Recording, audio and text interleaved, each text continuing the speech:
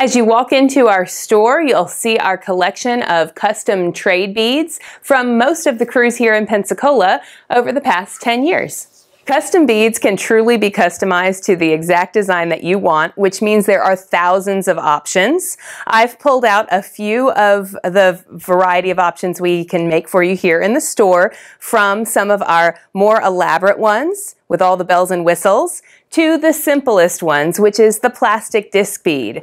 This one here is a foil embossed plastic disc bead. You can see it's been heat embossed with a gold foil, which makes it nice and shiny. It's a very traditional Mardi Gras bead. This one is screen printed.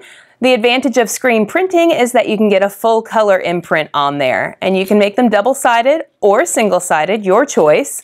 The type of bead you attach them to can affect the pricing.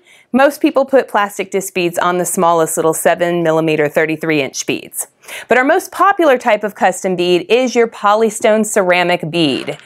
It is hand carved and uh, made from, the mold is hand carved and then they're each hand painted. So they're gonna be very unique. Each one is different.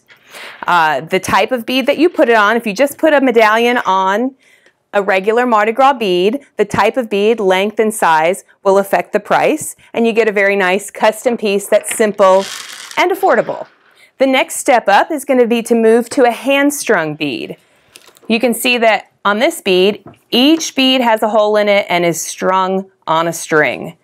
So that makes it a little bit fancier. It also allows you to put these custom pieces in line with the beads and it gives you a lot of different color options because you can mix and match. Now, whether you make something double-sided is going to affect the pricing, but that's possible. You can make 3D objects. And then how elaborate the paint job is can also affect it. So this is a pretty elaborate paint job here with lots of different faces. This one has glitter, which can affect the pricing too. The type of bead, whether you have pearls or this plastic non-metallic color, is also an option. And then having more than three pieces, like this one that has four pieces or this one that has five, that's also something that can be customized and will affect the price of your bead.